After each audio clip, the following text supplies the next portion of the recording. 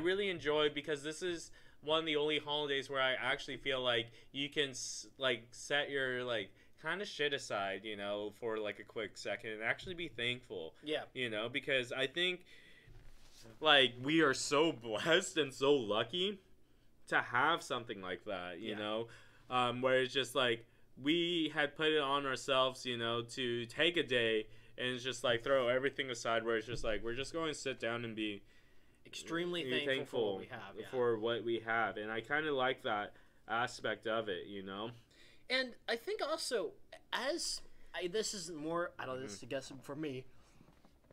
The older I've gotten, Mhm. the more and more I wish I had more of those Thanksgiving memories. But also when I was younger, I didn't really cherish them all that great. yeah Because I didn't realize I didn't realize how quickly those moments would fade. Like if I'm thinking back on it, it was four years ago.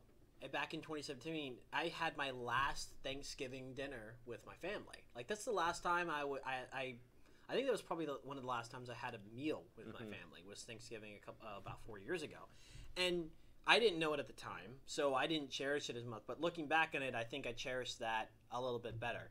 To be completely honest with you, I'd have to do a little bit more digging into actually what happened that Thanksgiving day because there are there are so many memories around the day. But like you were saying, it is really nice once a year.